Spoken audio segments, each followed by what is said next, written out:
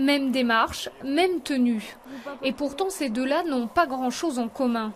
L'un est chef de formation, l'autre est ingénieur du son.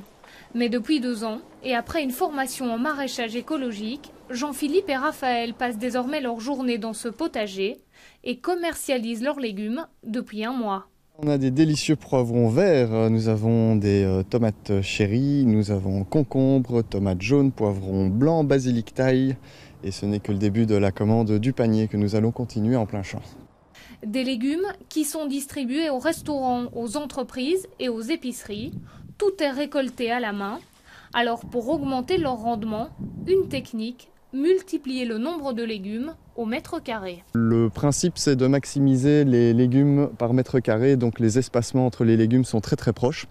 Et donc ça permet d'optimiser, pour donner un simple exemple, sur une planche de, salade qui ici fait 20 mètres carrés, on peut mettre jusqu'à 250 salades. Une agriculture sans machine, à petite échelle, c'est la philosophie de ces garçons maraîchers. Je ne sais pas où ils vont s'arrêter de pousser, mais en tout cas ils ont la forme.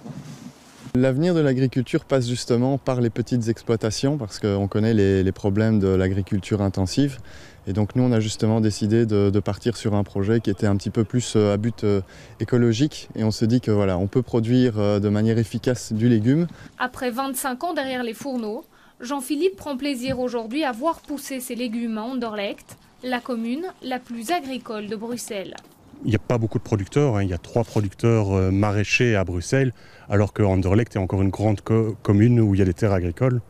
Mais tout ce qui est produit sur Bruxelles, la majorité est exporté hors de la région. Donc c'est assez euh, paradoxal.